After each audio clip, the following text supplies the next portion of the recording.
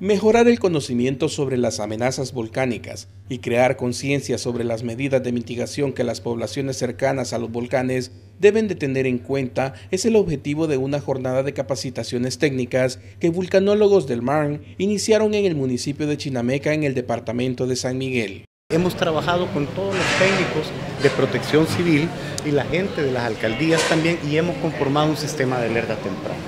Hoy queremos eh, dar a conocer ese sistema de alerta temprana y saber qué necesidad más tiene la comunidad para poder estar más atentos y brindarles esa atención que ellos ameritan para estar avisados en el caso de que el volcán comience a subir su actividad. En la inauguración participaron más de 50 personas entre docentes y miembros de la Comisión Municipal de Protección Civil del municipio de Chinameca, donde se abordaron las características y las diferentes amenazas ante una erupción del volcán Chaparrastique.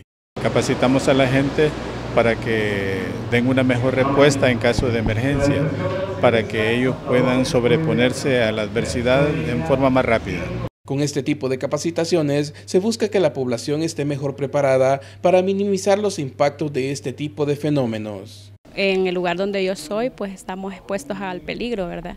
Entonces este, está muy bonito. Me gustaría, ¿verdad?, que por lo menos en la comunidad llegaran a darnos esta capacitación a toda la población. Ya sabiendo uno, pues ya está prevenido, ¿verdad? Entonces ya vamos a ver qué hacer en caso de que suceda algo. Implementar una, una cultura preventiva es fundamental.